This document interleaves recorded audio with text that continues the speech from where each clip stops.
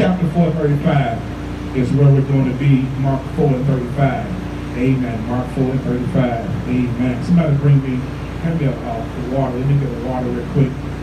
Amen. Mark chapter 4 and 35 is where we are. Mark 4 and 35. Thank you. Amen. Amen. Amen. How many are excited about the Word of God? Hallelujah. There go. Hallelujah. I know I am. I am. So now listen, on this passage here, amen, this passage here, you know this story. This is when Jesus uh, took his disciples and they crossed over in uh, to a storm. You know that story. The Bible said, and after Jesus had finished teaching them, the Bible says that he told them, let us go onto the other side. Let us cross over onto the other side. And immediately got into a boat. And as they crossed over to the other side, the Bible says a storm of wind arose and it began to beat water, push water into the ship until it was now full. And Jesus being in the hinder part of the ship asleep on a pillow. And I'm, I'm quoting from memory, so I may be off a few words, but not by much. Uh, Jesus being in the hinder part of the ship asleep on the pillow. His disciples said unto him, Master, do you not care that we are about to die? We're about to die. We're about to perish. And do you even care that we're about to lose our lives? Bible said Jesus awake out of his sleep. And he awake out of his sleep, he got up and he told the wind, wind, peace, be still. And immediately the wind ceased and the waves come. Then he said to his disciples, O ye of little faith, how is it that you don't have any faith? Oh, ye of little faith, where is your faith? And then that last verse said, disciples looked at him with amazement and said, what kind of man is this that even the wind and the waves obey his command? I want to look at that because that reminds me of kind of life itself. I want to look at this because this talk about storms. We just got back in town about 1 o'clock this morning. And I understand we left out Tuesday. And I understand that a storm came through St. Louis, uh, especially out in the county area. Tore down a lot of trees. People lost electricity and whatnot. And you know, storms are good and storms are bad. One thing about it is storms will clean up the streets. Storms will also tear down power lines. Not only will storms do that, but storms will also make the baddest person get quiet. When I was coming up, and many of you can attest, when I was coming up, that uh, mama and grandma them told us in times of storms, they told us, get somewhere and sit down. Come on, talk back to me somebody. Because what? God is speaking. Remember that? Amen. God, and, and so in that, we understand that we have to respect storms. Storms are to be respected. And so in this passage, the Bible, I want you to read it. If you want something good to read this week, I want you to read all of chapter 4. And even, I promise you, if you start with chapter 4, you go right into chapter 5. It won't take you long to read it. Read it good and slow. You'll see Jesus had just finished teaching his disciples about parables. And lately, if you notice, I've been preaching on the telephone and even in person. We've been talking about parables. Been talking about how Jesus used story parables to get us the message of the kingdom of God. And after he finished teaching them in the earlier part of chapter 4, then he says, let's go to the other side. And one thing about life is life always has a way of teaching us lessons. You already know that. Somebody. Uh, everybody that's on this lot, and no doubt people who are on the phone, I'm talking to those of us who are of age.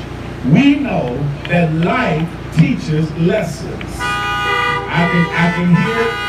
My dad has been gone now 22 years, but I can hear him just as clear as a bell when I went to him with my ideas, when I went to him with my way of thinking, and he said to me three words, just keep living. keep living. Them two words, help me somebody.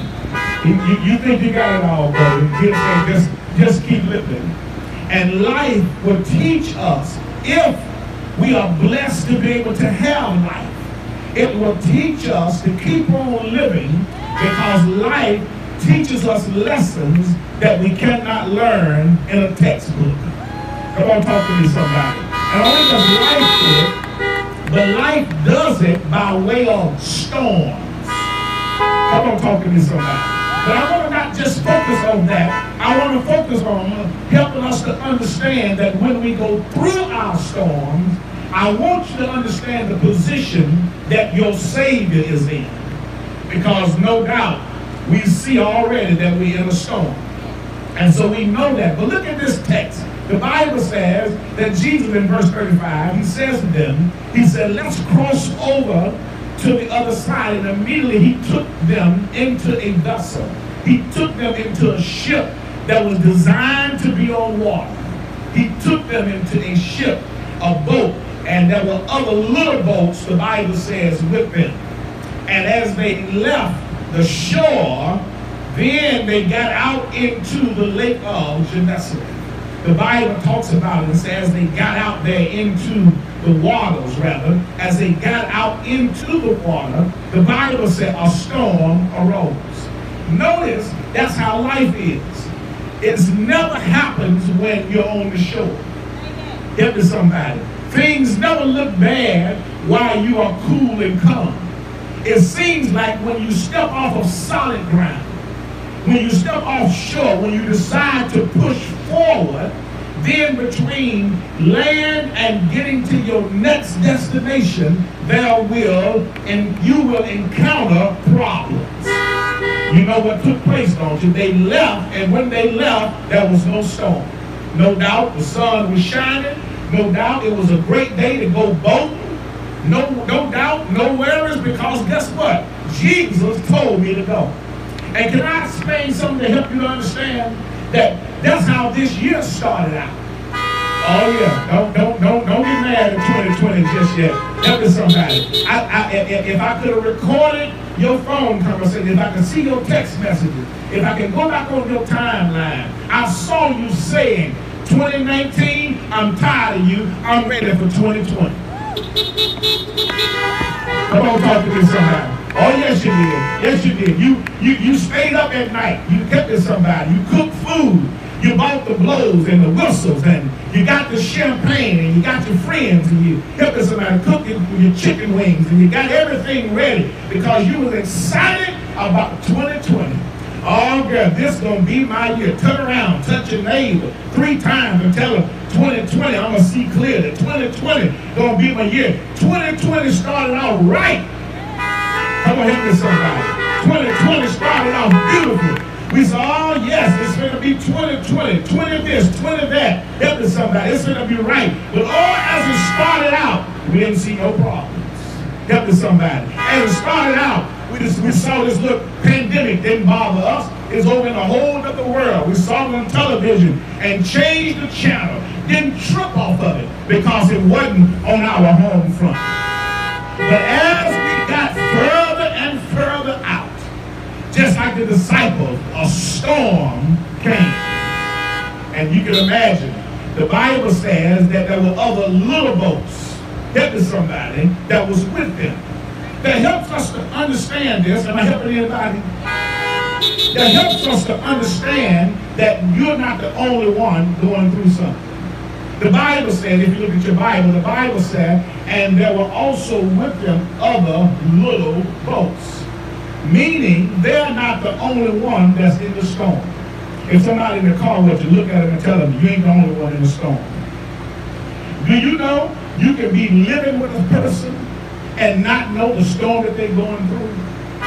Do you know, talk back to me, somebody, that you can work next to a person. You can be blood related to a person and not even know what all they are going through. We all go through our storms.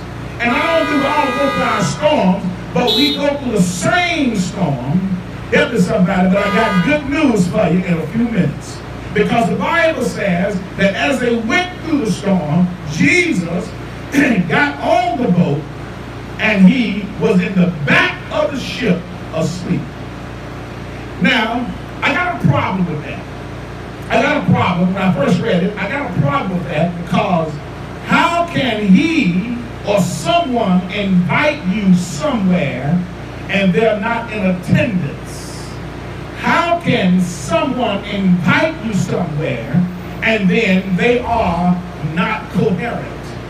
It looks as if Jesus invited them into a boat, into a storm, and then he went to sleep.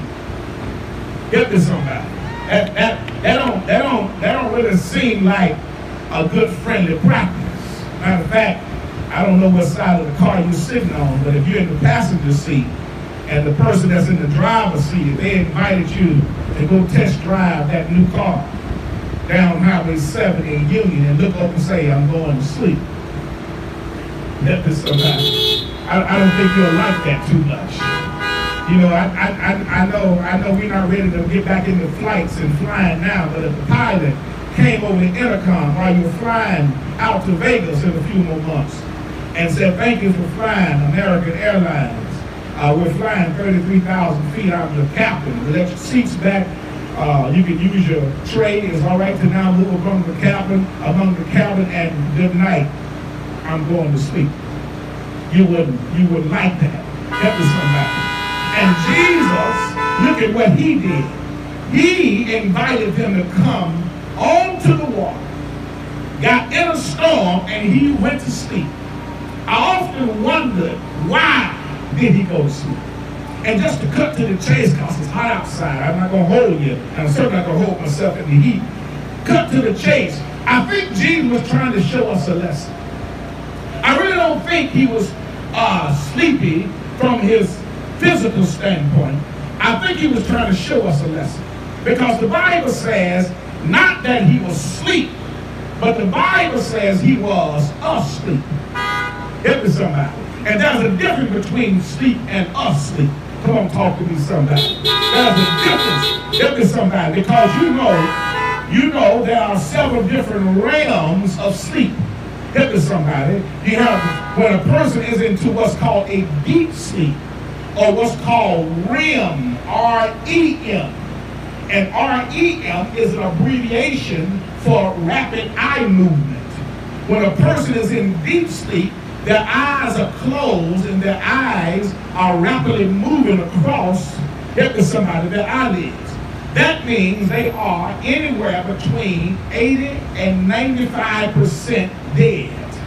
That means, helping somebody, they are closer to death at that time because they are in a deep sleep and everything is barely being used.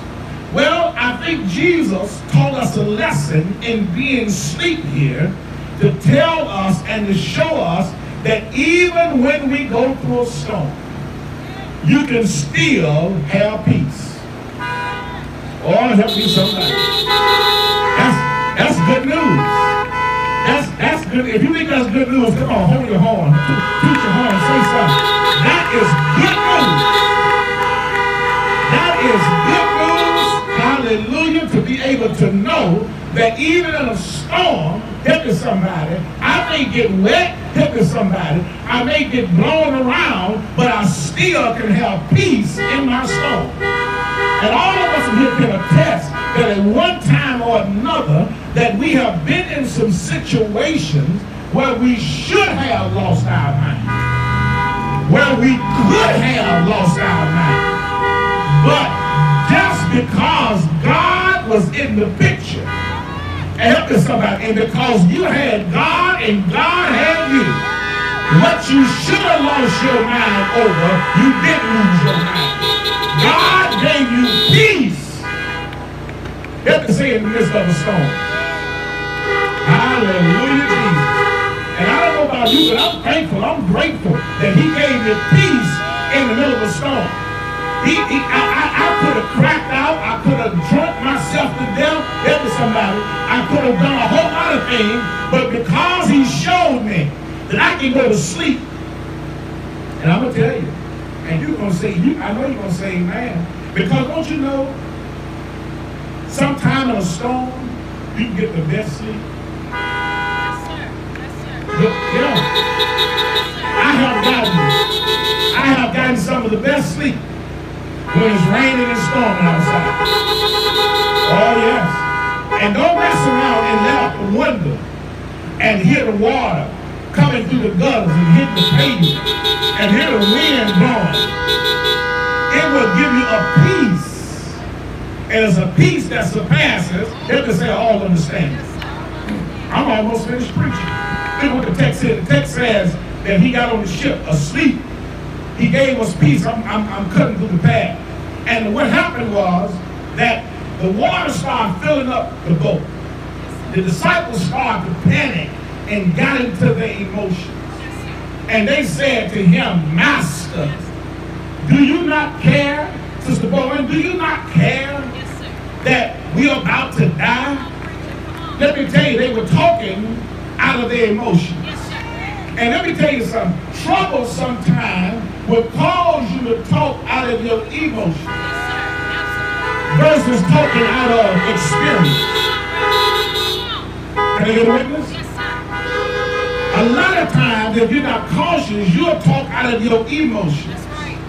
You know, you, you, you know, you know who in your corner. Let me talk to you. You know who's in your corner.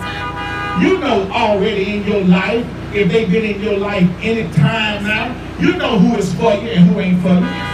Come on, let's talk somebody. You, you, you already know if they've been in your life any amount of time, you know who's on your side and who really ain't on your side.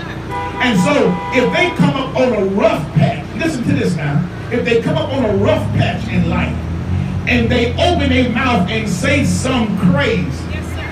Help me somebody. Say something out of out of character. You don't judge your whole relationship based off of what just came out of their mouth when you already know how what where they stand on you with relationships. In other words, the older saints reminded us, baby, I'm sorry. That's right. Charge it to my Head and not my my heart. Because you have to know, you have to know a person's heart, Yes, sir. Yes, sir. Even if they head don't speak right. That's it. That's it. Come on.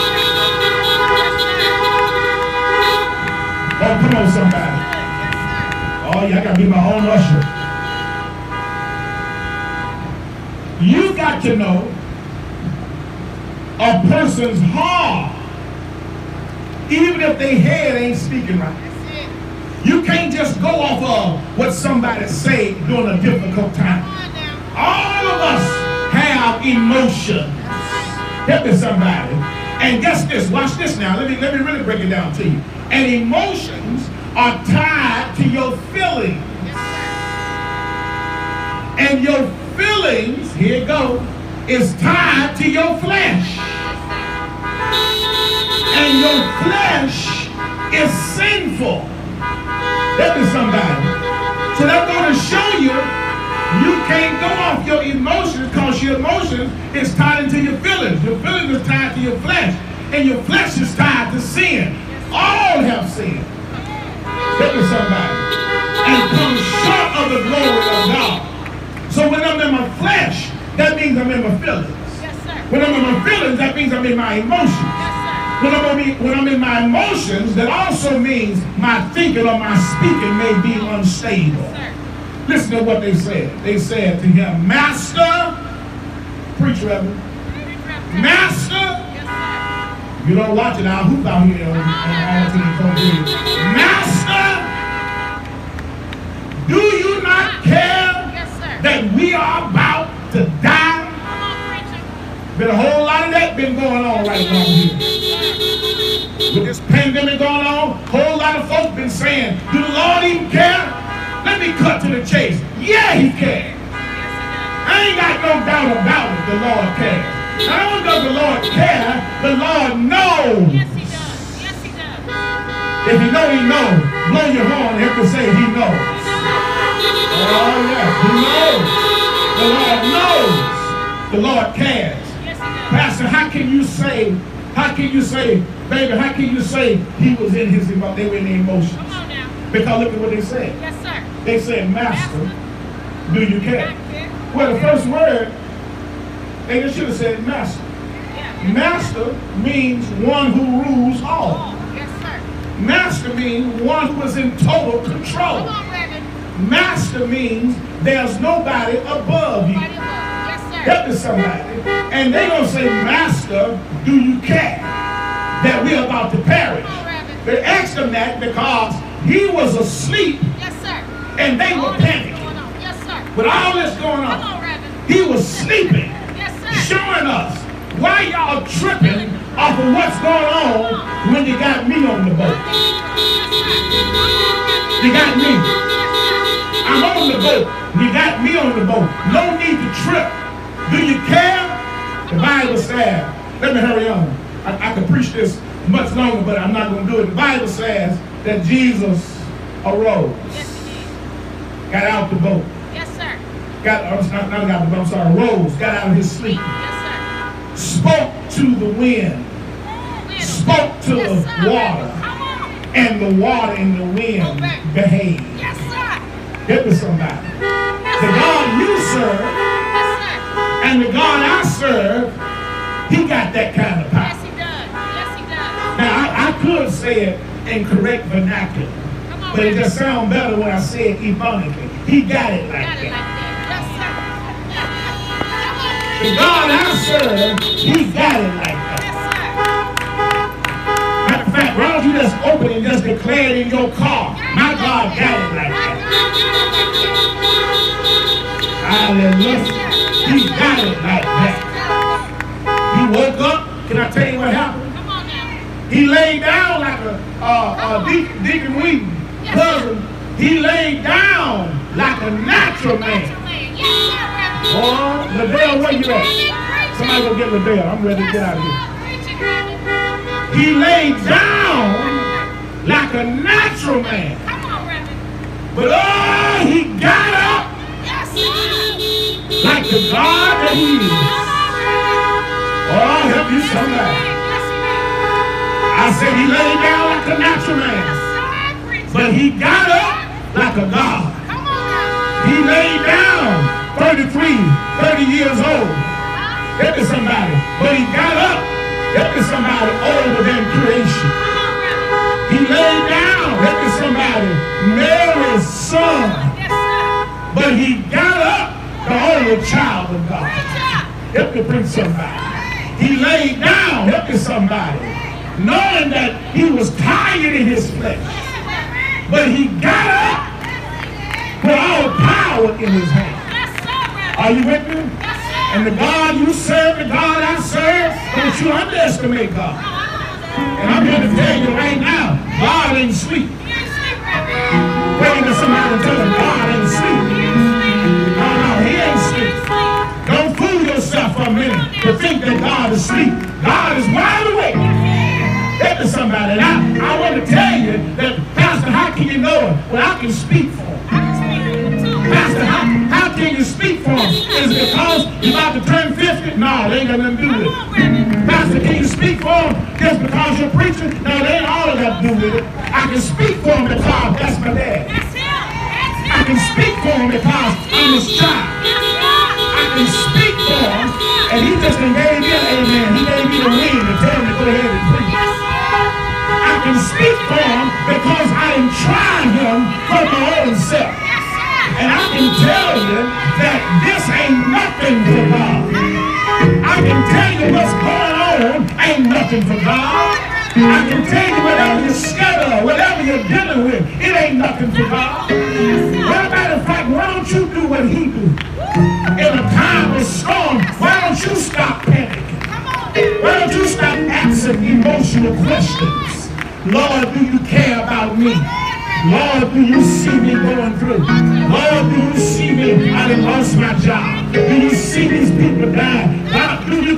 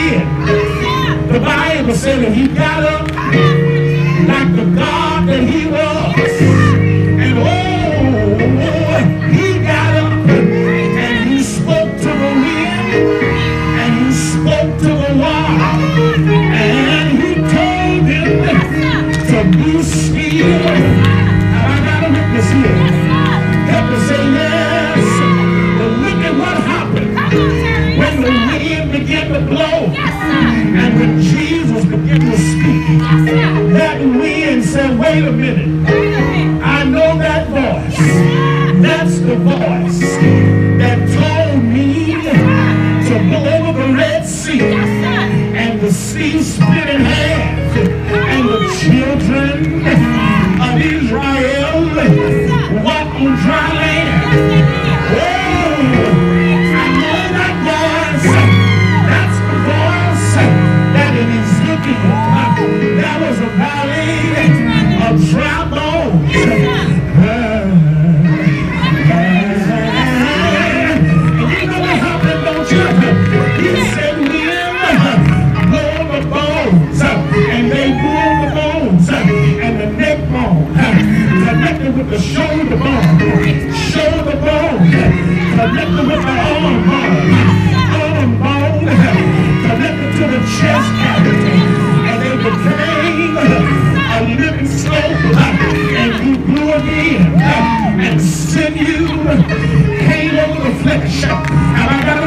And he said, Madison, man, can these bones live? That wind said, I know that voice.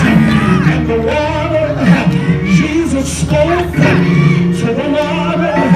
And the water said, I know that voice.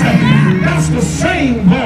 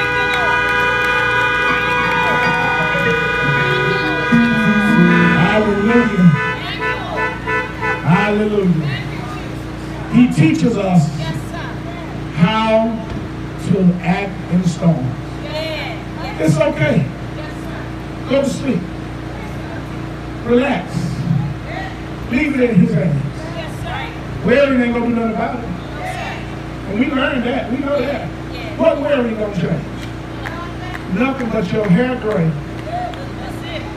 And you're gonna mess around and bite your tongue. Worrying changes nothing. Give it to him. Call him master. I know you can. Call him master. And let him speak to your storm.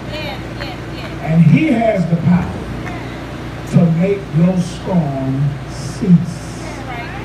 And if he don't make it cease, it does not mean he don't have the power.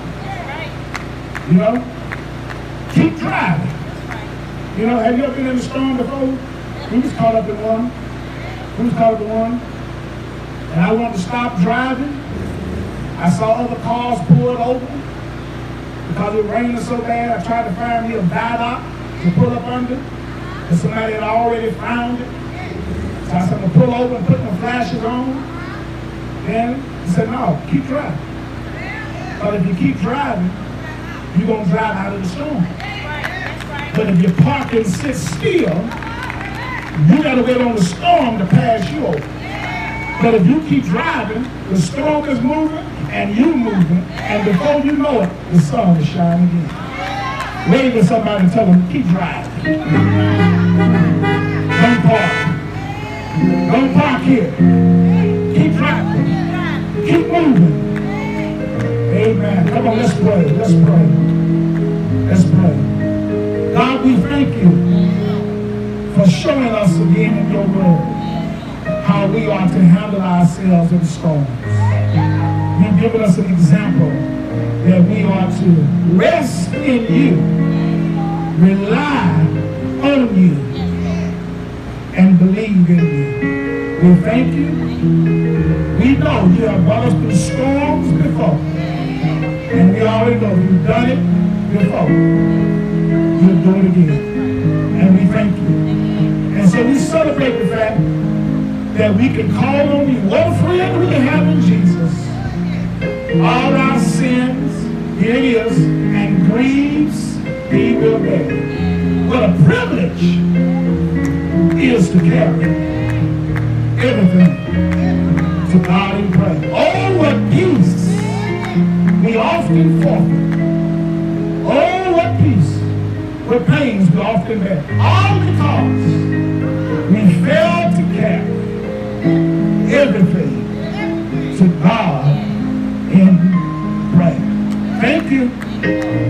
We say thank you on this parking lot. We say thank you at church. That's what we are now. We thank you. We thank you for everything you gave us. We thank you for everything you did give us. We thank you for everything that you have done for us. And we shall continue to bless your name. It's in Jesus' name we pray. Amen. And thank the Lord. Hallelujah. Hallelujah. Hallelujah. That's a golden horn. Hallelujah. Hallelujah. Hallelujah. Amen. Brother Wilson. Amen. Brother Wilson. Amen. I'm going to use my boat.